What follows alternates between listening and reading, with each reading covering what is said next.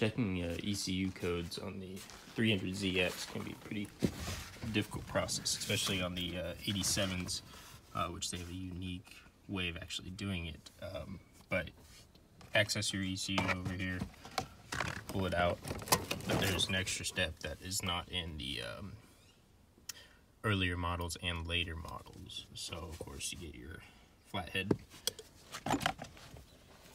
turn the car down to accessory mode.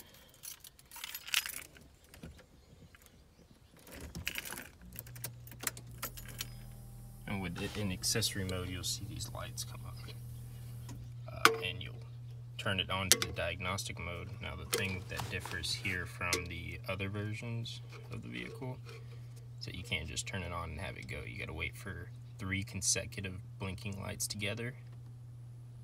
Right there, turn it directly off. And after a moment, you'll get your